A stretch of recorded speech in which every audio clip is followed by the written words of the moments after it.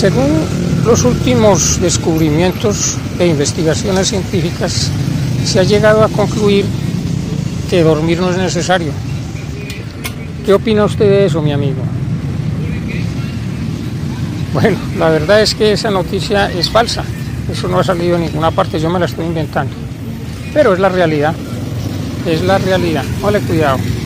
Todo el mundo piensa que dormir es importantísimo.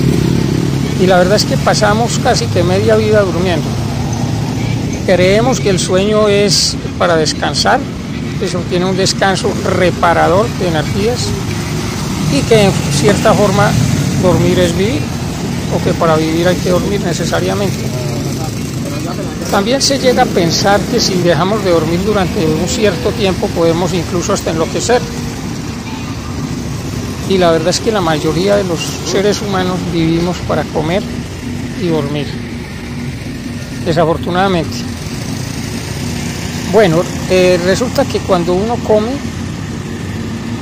necesita un proceso de asimilación, de digestión. Cuando estamos despiertos estamos recibiendo impresiones a través de los sentidos. Podríamos equiparar esto a estar comiendo. ¿sí? Solo que el alimento es sólido y las impresiones no lo son. Y ambas cosas requieren de una digestión, la una eh, fisiológica, digestiva, y la otra mental, porque las impresiones que recibimos hay que digerirlas, si no se digieren se vuelven indigestas y nos generan un problema emocional, problema psicológico grave. Mm, cuando los deseos quedan insatisfechos cuando no se obtiene aquello que se quiere. Se acostumbra eh, utilizar la expresión incompleto. Queda uno incompleto o eso se manifiesta como un incompleto dentro de uno. Esos incompletos están ahí en nuestro interior y necesitan ser digeridos y eso es lo que ocurre durante el proceso del sueño. Cuando estamos durmiendo, todas esas cosas que fueron deseos inconclusos, no satisfechos, frustraciones, etcétera, se procesan a través de imágenes y nos creamos películas para satisfacer eso y para completar esos incompletos. Y eso es lo que hace que el sueño sea tan importante para uno.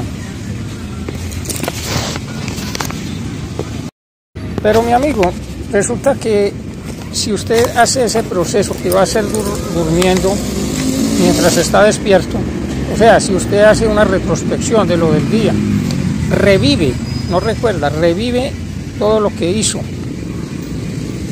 Y em, asimila o digiere todos esos incompletos, dándose cuenta que quien deseaba eso no era usted, porque usted no es es la emoción, usted no es la mente, usted no es el cuerpo, usted no es la personalidad, usted es la divinidad expresándose a través de usted, o sea, a través de todo eso.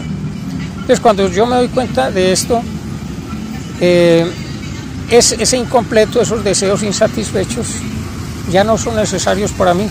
Entonces los entrego a la divinidad, porque sé que puedo vivir sin eso y que estoy por encima de esas cosas. Entonces eso es entregarle a la divinidad los incompletos.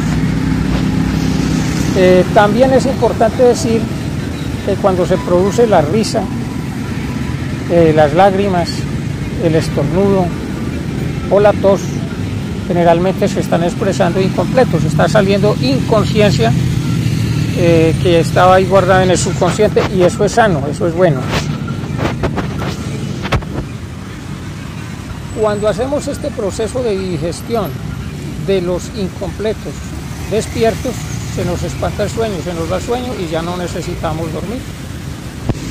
Eh, he sido testigo de cómo el maestro Siriniti Anamaya prácticamente no duerme porque él se la pasa haciendo ese proceso mientras está despierto. Sin embargo, eh, en ciertos momentos él se pone horizontal posición horizontal, se acuesta, cierra sus ojos y cualquiera dirá está dormido. Pero eh, desde la versión de él, lo que está haciendo es dejando que su cuerpo repose pero su conciencia está activa, o sea, él sabe qué está pasando dentro de él mientras tanto. E incluso cuando se llega a una cierta profundidad en este proceso se conoce como samadhi. Lo cierto es que la vida es como una especie de película que se está creando de instante en instante y nosotros somos los guionistas. Estamos creando el guion de momento en momento. Cuando dormimos, esto también sucede, pero de una manera inconsciente, sin darnos cuenta. Entonces desarrollamos una película o creamos una película inconsciente que generalmente tiene cosas muy locas y cosas aterradoras y cosas desagradables, pesadillas, ¿no? Bueno, es importante diferenciar aquí lo que es recordar y lo que es revivir. Cuando uno recuerda, recuerda en frío, por decirlo así. O sea, retoma lo del pasado en frío, sin emoción. Pero cuando revive, entonces la emoción está involucrada. Y en los sueños aparecen las emociones, precisamente, porque estamos eh, procesando, estamos haciendo digestión de esas cosas del día desagradables, de esos incompletos, de esos deseos insatisfechos.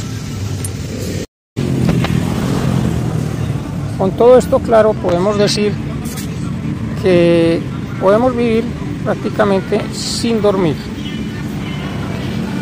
Pero para lograrlo necesitamos estar procesando en el mismo momento en que se da eh, los incompletos, los deseos insatisfechos, eh, debemos estar tomando conciencia de lo que pasa en nuestro mundo interior, en nuestro mundo emocional y eh, irlo procesando.